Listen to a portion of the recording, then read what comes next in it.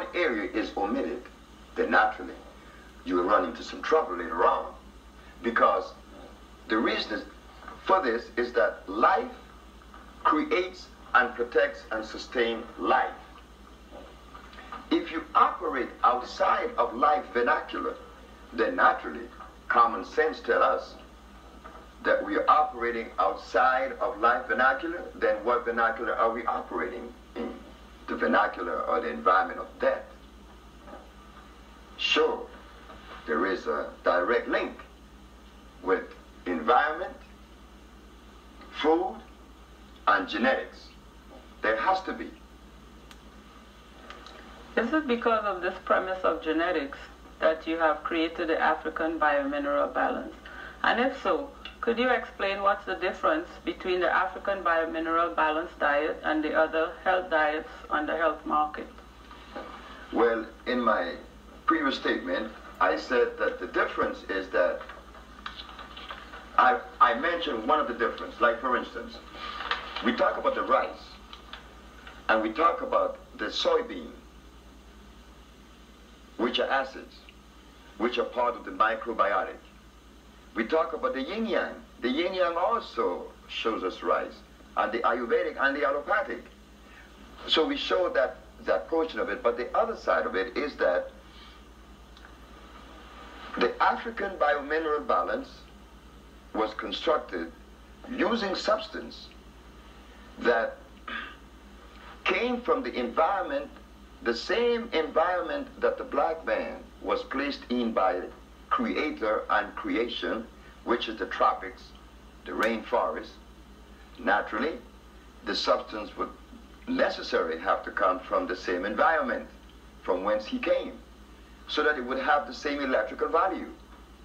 So we constructed it by creating these compounds, such as the Maya, as known today. We have the Lympholin, and we have the Nervino and many other products. But these was, they were constructed or the compounds were made of herbs that came from the tropics that are very high in alkali, alkalinity. We find such herbs as the cuculmeca, we find herbs, the corazon de Jesus, which is very, very high in food. So right there, we are not following the same premise as other herbalists. Why? Because they use comfrey. They use peppermint. They use foxglove. And all these are hybrid herbs, which are incomplete molecular structure. An incomplete molecular structure is something that was created through hybriding. Hybriding means that you're going to create something that was not created by Mother Nature, and that you want to fit that within this cosmic procession. No. If it was not created by Mother Nature, then this substance should not be included in this whole procession because it would cause an imbalance.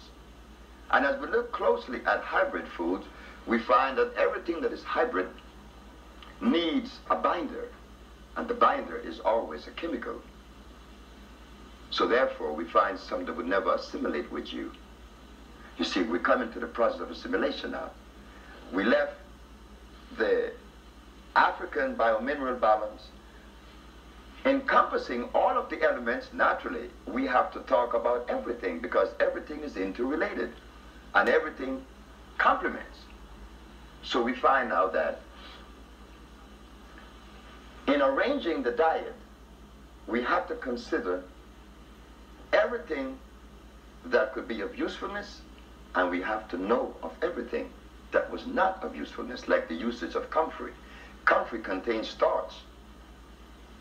Starch is carbonic acid, but you find that many people who call themselves dietitian or herbalists, from a natural perspective, they use comfrey. They also use well, like I said, foxglove, which is a very poisonous plant because it is a hybrid plant. According to nutrition, in reference to nutrition, we have to now use substance that everybody eats, but we have to select from that group of foods that we call foods, the green leafy vegetation that would do the least amount of harm to the individual. Because we know that the compounds that was constructed using the earth from the tropics would deliver the kind of nutrients and energy the body really needs.